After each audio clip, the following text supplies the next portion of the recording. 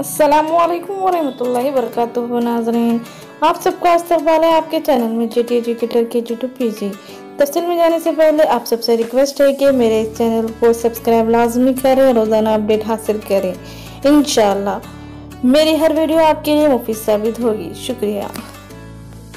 जैसा कि आप लोग जानते हैं कि आज 10 दिसंबर है, नोबल प्राइज डे है।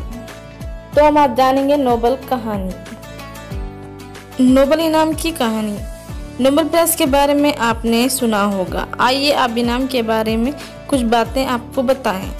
इस इनाम के जारी करने वाले डॉक्टर वाल्फर नोबल थे। उन्हीं उन्हीं के नाम पर यह इनाम नोबल प्राइज कहलाता है, जो दुनिया का सबसे बड़ा अज़ीज़ है। नोबल प्राइज हर साल अमन अदब फिजिक्स केमिस्ट्री व अद्वियात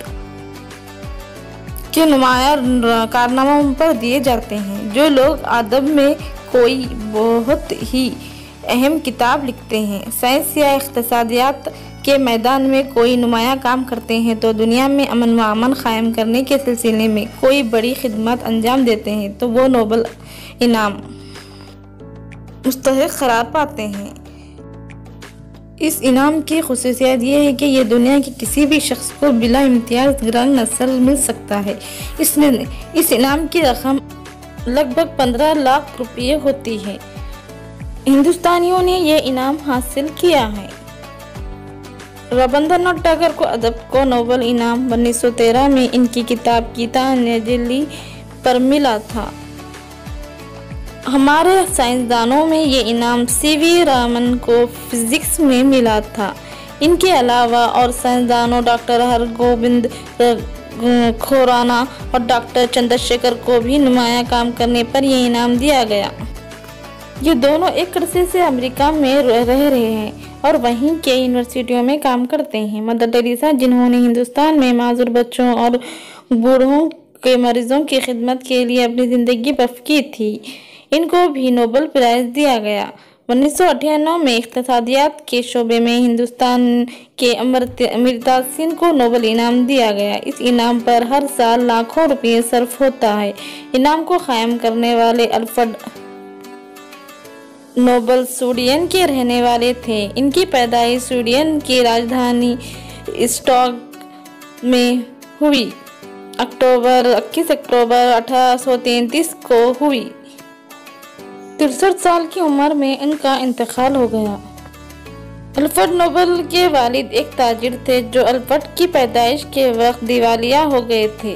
यूँ तो वो बहुत पढ़े लिखे और जहन थे मगर तिजारत का कोई तजुर्बा ना होने की वजह से ही सभी पूंजी से भी हाथ धो बैठे। अल्फ्रेड नोबल की बर, नौ बरस के हुए तो इनके घर वाले गरीबी से तंग आकर वतन छोड़ने पर मजबूर हो गए और वो और वो सेंट पीटर्सबर्ग चले गए।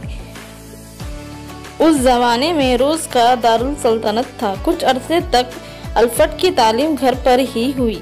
जब घर के माली हालात अच्छे हो गए तो वो बाकायदा तालीम हासिल करने के लिए बाहर गए। इन्होंने यूरोप भर का दौरा किया और कई जुबानें सीखी। अब वो अपने वालिदा के साथ साइंस की तजुर्बों में तजुर्बात करने में वक्त गुजारने लगे और उनतीस साल की उम्र में वो इंजीनियरिंग केमिस्ट्री में माहिर हो गए तो इन्होंने नाइट्रिक और ग्लिसरीन दरियाफ्त की।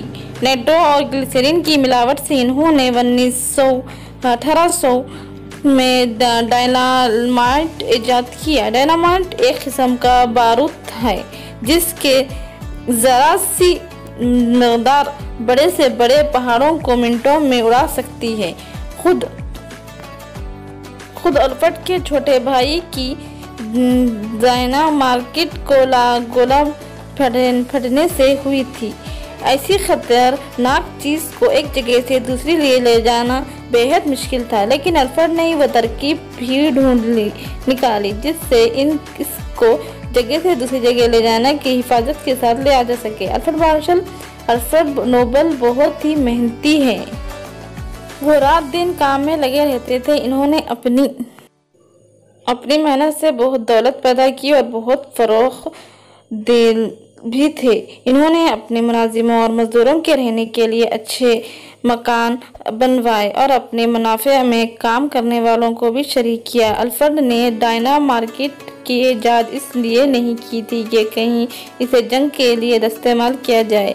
इंसानी बस्तियों को तबाह व बर्बाद किया जाए। इस एजाज से इनका मकसद ये था कि पहाड़ों और चट्टानों को तोड़कर पत्थर मुहैया किए जाएँ और कानों से धातें बरामद की जाएँ। अल्फ्रेड नोबल को जंग जंग से बेहद नफरत थी। इनकी दिली ख्वाहिश थी कि दुनिया के तमाम कौमें आपस में अमन वसला के साथ रहें और इसीलिए हर साल अमन इनाम इस शख्स को दिया जाता था। जो दुनिया में अमन कायम करने के लिए कोई गैर मामूली कारनामा अंजाम दे। अल्फ्रेड एक लड़की से शादी करना चाहते थे, मगर इसका इंतकाल हो गया। इस सानिए के बाद इन्होंने अपनी सारी दौलत नेक कामों के लिए वक्फ कर दी। इन्होंने तमाम उम्र शादी नहीं की और वसीयत की कि इन, उनकी आमदनी से हर साल इनाम दिए जाएँ। लिहाजा उनकी वसीयत के मुताबिक हर साल दुनिया के बड़े साइंसदानों, अदीबों को अमन के लिए इनाम दिए जाएँ।